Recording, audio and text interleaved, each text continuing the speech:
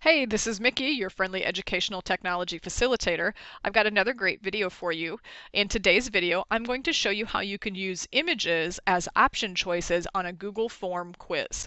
So you can see this quiz here. In this quiz, my objective is to see if students know their vocabulary. So rather than putting out a definition and giving them word choices as their um, answers, I have chosen to give them the word as the question and given them four different images to choose from to see if they know which one is the dog or which one is the hand and so on.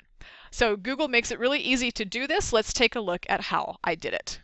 I'm going to go to forms.google.com. You can also access this page by going to your app launcher and selecting Forms. You can also go to Drive, select New, and Google Forms. I'm going to use a quiz in order to um, set this up, although you can also do this with a blank form. When I select blank quiz, it automatically creates the quiz um, and gives me the ability to set an answer key for each of my questions.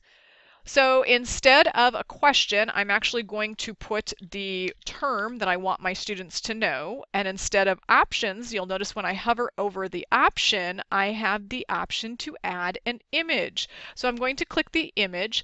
I've already gone ahead and previously located these images and saved them to my um, computer, but you can see that you can take a snapshot with your webcam, you can insert them by URL, you can search through your albums, you can search Google Drive, or you can even do a Google search right here.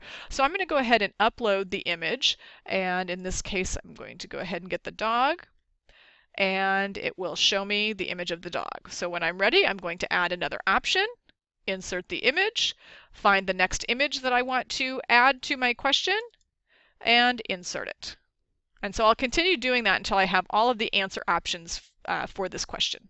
So I have added my four images that I'm giving them as choices. Because I made this a quiz, I need to go up and set up the answer key. Um, so for the answer key, I need to select the number of points this question is worth, and most importantly, I need to choose the correct answer. Remember, with an answer key, you can also provide feedback for incorrect and correct answers. I'm going to go back to edit the question. Now, because I'm going to use these same four images on the next three terms, instead of adding a new question, I'm going to duplicate this question.